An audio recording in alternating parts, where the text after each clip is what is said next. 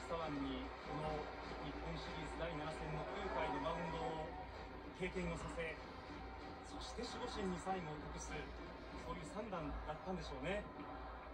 はい、それも含めて最後手から聞いてください。それぐらいあっと驚くこの継投でした。桐敷がツーアウトを取り、そして岩崎優がこの9回のマウンドに上がります。2013年のドラフト同期、横田慎太郎さんが28歳の若さでこの世を去るという辛いシーズンになりました。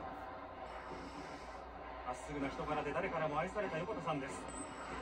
この背番号24のユニフォームを同じく同期の岩貞が鹿児島の実家から取り寄せそして同じく同期の梅野ががっちりと握りしめリーグ優勝決定の瞬間には共にマウンドで喜びを分かち合いました。そんな思いも背負いながら特別な1年。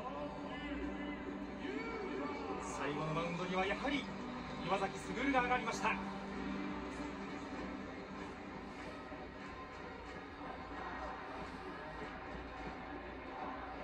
本一から遠ざかったこの日々は決して平らな道ではありませんでした。何度も何度も諦めかけたこのさあこの打球レフトスタンド5階席。本宮優馬が意地を見せました。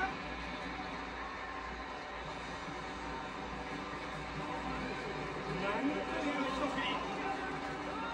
なんという弾道。本宮このシリーズ。3本目のホームラン素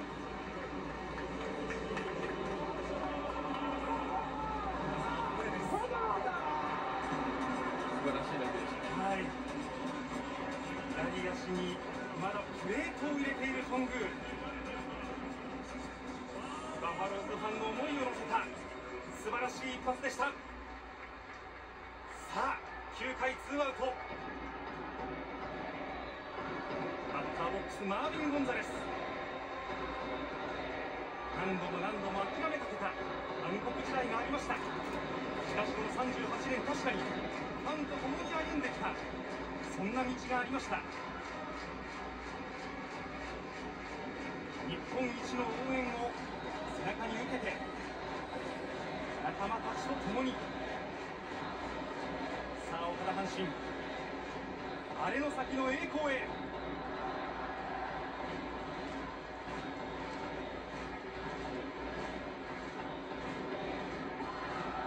ツーストライクになりました。信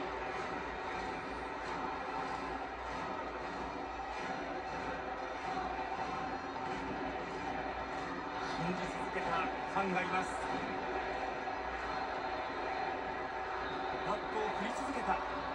腕を振り続けた。選手たちがいます。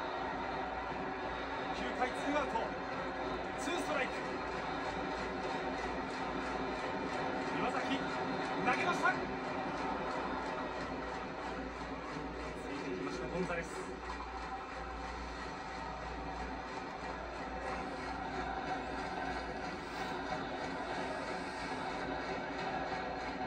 んな時も表情を変えず淡々と投げる岩崎優この時も変わりません。ただ選手たちにはもう少し笑顔がある。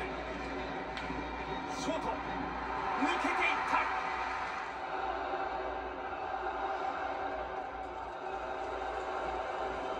5度中を舞いました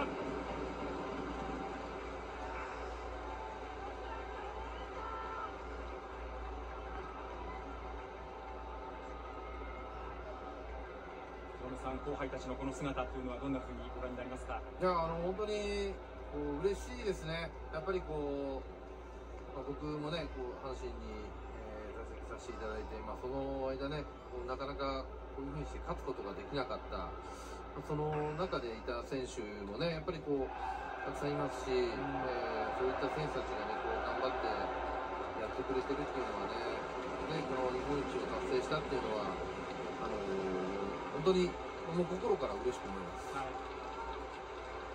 大上投手岩崎優が